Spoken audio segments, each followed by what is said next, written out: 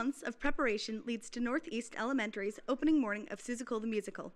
Um, well, basically, it's based on all the Dr. Seuss books kind of put into one, and um, it's um, the main character is kind of Horton, who he finds the dust back, and then the whole jungle is not doesn't think that they're real Who's, and then Mayzie asks him to sit on the egg, so he is trying to the Who's get lost, and he's trying to find the Who's and sit on the egg at the same time.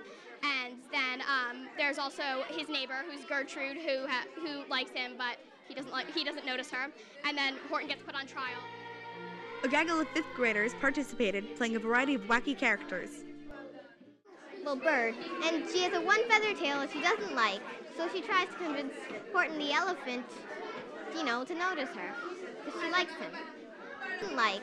So she tries to convince Horton the elephant, you know, to notice her, because she likes him.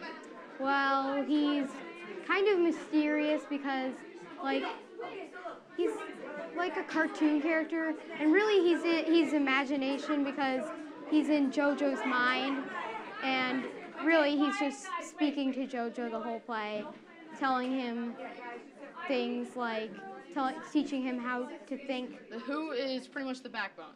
We're always in the back. Um, it's pretty much revolved around the Who's, because Horton's actually trying to protect us, and everyone else is trying to get her, is trying to get us.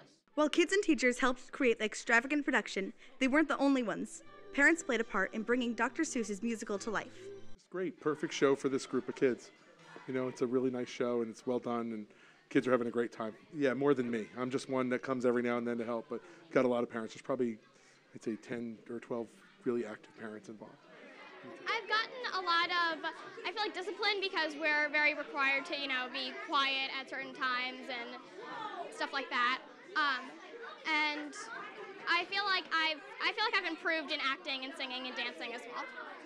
uh, hanging out with your friends, and yeah, that's that's all I want. That's all I um, want to do, hang out with my friends. Performances will take place on Friday and Saturday evenings at 7 p.m. My favorite part about being in the show is probably the finale. But I won't tell you anything about it because you have to come see it if you want to know about it.